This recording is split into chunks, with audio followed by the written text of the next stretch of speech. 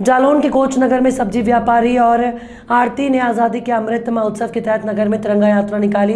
तिरंगा यात्रा में सब्ज़ी व्यापारी और आरती ने बढ़ चढ़कर हिस्सा लिया।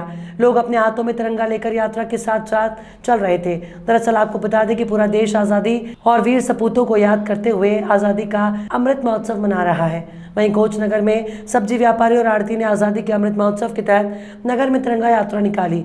इस तिरंगा यात्रा में सैकड़ों की संख्या में सब्ज़ी व्यापारी और आरती लोग शामिल हुए और सभी लोग अपने हाथों में तिरंगा लेकर साथ चल रहे थे। ये नवीन फल सब्ज़ी मंडी से शुरू हुई और बापू पैलेस की मोड़ से मार्कंडेश्वर चौराहा होती हुई, सागर चौकी से नगर पालिका होती हुई, नई बस्ती से मंडी में दोबारा नवीन सब्ज़ी मंडी में समापन हुई।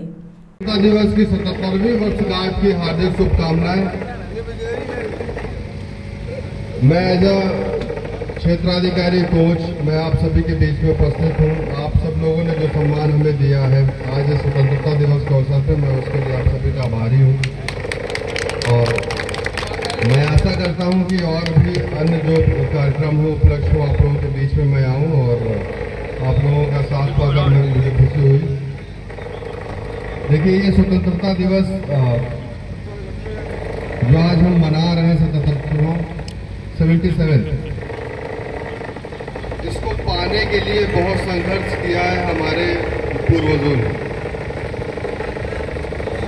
और उन पूर्वजों का कुछ सपना था, वो सपना संविधान की प्रस्तावना में दर्ज है।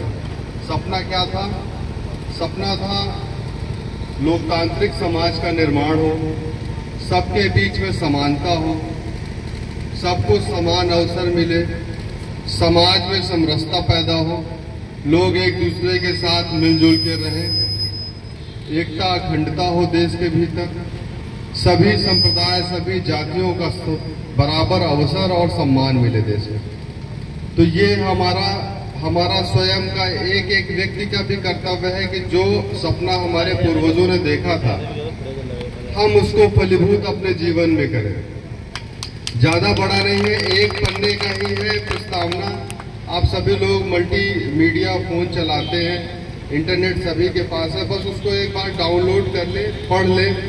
आपको समझ में आ जाएगा कि हमारे जो पूर्वज थे उनकी इच्छा क्या थी।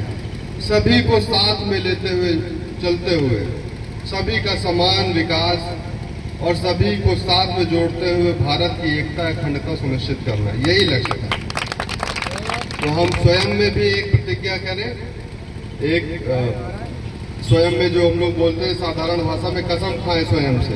एक एक अपने अंदर जो है जज्बा पैदा करें कि आज से अगर यदि हम किसी एक व्यक्ति का भी दिन में कुछ भला कर दें, उसके चेहरे में खुशी आ जाए तो समझ लीजिए कि हमारा जो सपना हमारे पूर्वजों ने देखा था, वो सही देखा था और हम उस नक्शे कदम पे चल रहे हैं। जय हिंद, जय भारत।